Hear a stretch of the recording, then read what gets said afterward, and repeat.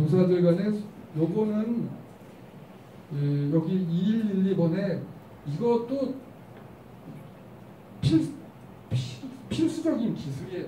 갈등 해결은 이건 삶의 중요한 기술입니다.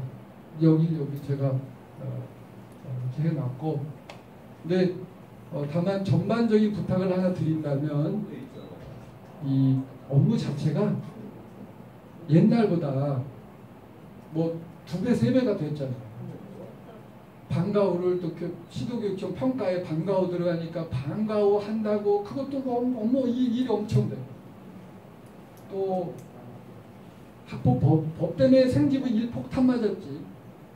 진로교육법 해가지고 진로 선생님들도 뭐, 뭐 온갖 결합 다 시켜야 되지. 그나마 인성교육법이 잠잠한 게 벌떼처럼 달려든 거예요. 니네 인성교육법 만들었다고 또, 또 그러지 마라. 교육과정 속에 집어넣어. 지금 그래서 지금 내년 교육과정 세부 2015 교육과정 그 안에는 인성교육법, 진흥법이 다 들어가 있어요. 그러니까 지금 저 사람들이 주춤하는 거예요. 만약 그건 내버려뒀으면 별도 인성교육 부가 또 생겨가지고 또 폭탄 나는 그래서 옛날보다 그런 일들이 지금 엄청나게 늘어났어요. 교육감님이 아무리 애써도 안 돼요. 교육부가 이렇게 일을 놓고 가는 못해요.